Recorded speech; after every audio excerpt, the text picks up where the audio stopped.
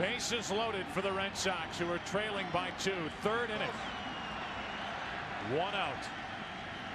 Troy O'Leary struck out his first time. Hits it in the air into deep right center field. Track, wall, grand slam, Troy O'Leary. A 7 to 5 Red Sox lead here in the third inning. They walk Garciaparra, and Troy O'Leary says, take that. A grand slam, and it's a two-run Red Sox lead. At the time, it gave Boston a two-run lead. That was on a lazy breaking ball, Joe. I think you'll get fastballs away here. Into right field, well hit. Ramirez at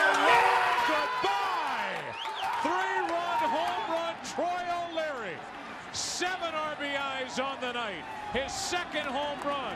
And with that, the Red Sox take an 11-8 lead.